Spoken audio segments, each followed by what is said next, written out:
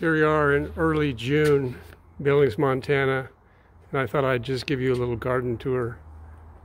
Everything is nice and green. This is probably the best time to come to Montana because the fires haven't started and everything is just blooming and trying to grow as much as possible in its short growing season. The lawn is looking really good. And Stella leaves some of the lawn long and then she plants bulbs and those have mainly sprouted and bloomed already. This is the kitchen garden. We've got seven heirloom tomatoes which have really started growing. This is the black Krim, which is one of the varieties that really does well here. We can get hundreds of tomatoes off of that. Yesterday I planted some seed tapes here that have carrots. There's probably 50 of them planted in there.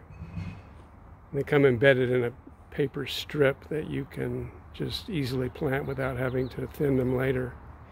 This is a big rainbow, the kind of yellowish red heirlooms that you see. This is a Brandywine. We let them get to the top of these supports and then we start trimming them and they really fill out below. This is a oh the green zebra, which is really a tasty one. It, it looks like it's not ripe, but it has a really pleasant green color to it. Oh, that one's I try to train these to go under the support, and that one snuck out of there. But we have it all on this drip system. This one is a Cherokee purple. Here, uh, this is another big rainbow. And then this one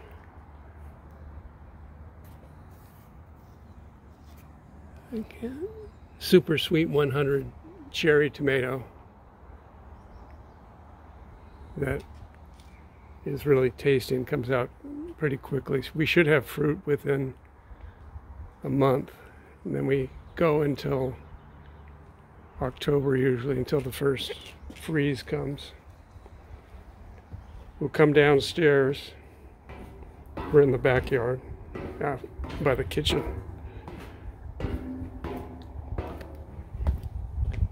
See some of the irises that are left.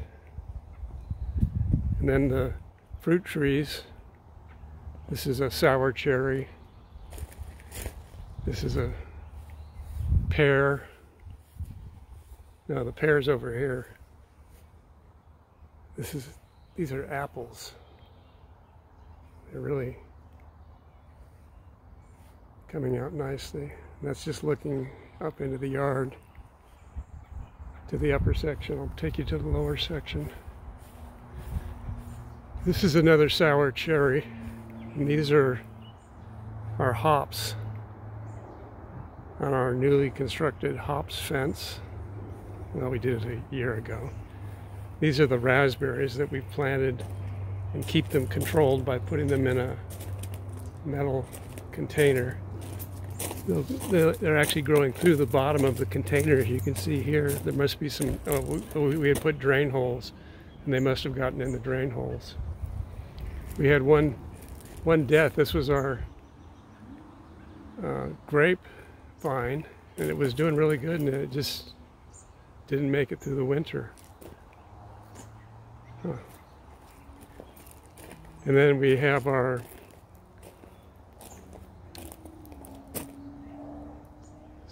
standing beds, and these are pickles or cucumbers that I planted yesterday, and these obviously are not cutting it. I don't know what it is. We put another set in there and they didn't make it. This one looks like it is going to make it. Japanese cucumber, lemon cucumber, but this one, heirloom, did not like the transition. I just watered it. and Hopefully it'll come back. That's some other kind of, I'm not sure what that is. Hollyhock. And then these are just some plantings. This is some beautiful, I forget what it is. There's some pea blossoms. There's some potatoes in here. These are potatoes. And then some sunflowers that uh, returned or volunteered. This is some of our art. This is our strawberries, and they're they're blooming out, so they should be coming out pretty soon. They're really looking. These have been here now for four years, and they come back every year. This, and I'm forgetting the name of this again. Um, rhubarb.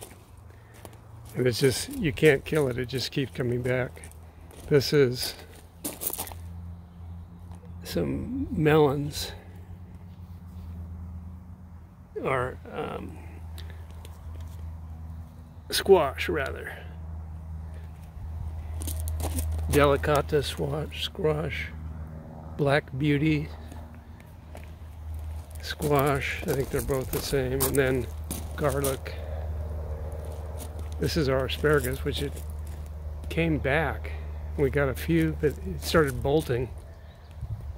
It's gone kind of crazy. And then two different kinds of hops. This is, there's two plants in here. That's why there's so much thicker, but it's just they're going crazy, searching for somewhere higher to go. And we've tried to harvest them, but couldn't get it together to make any beer or anything with it. I'll run up the back stairs here to the upper level. It's just lawn basically. And I forget what these are called, but they're really unusual. They're kind of floppy, but they got beautiful blooms on them.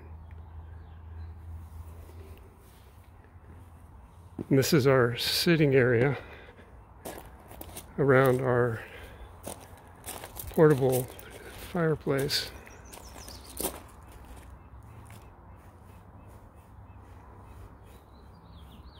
And then another bunch of plantings. These are peppers. And this is our attempt at lettuce, which looks like it's really coming in good. And then this is Stella's garden of all her herbs. And they're just getting started. Here's basil and thyme and just some lavender. And then this is our back porch and our pizza oven.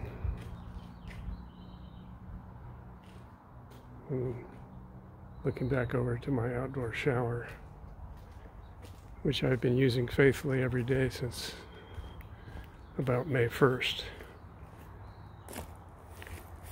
So I think I'm going to walk back down and conclude the tour at this point. I'll revisit it later on once the fruit starts coming out. It's a pretty short growing season, but because of our position, if you look up here, you can see the sandstone cliffs, and those reflect and retain heat that gets us going much earlier than most people. And this uh, garden gets a lot of direct sunlight. So we actually get early fruit and pretty much every day is going to get full on sunshine. I've been through weeding this. The weeds grow just overnight. I had to pick out a whole bunch of new ones. But anyway, I think that'll cover it for now.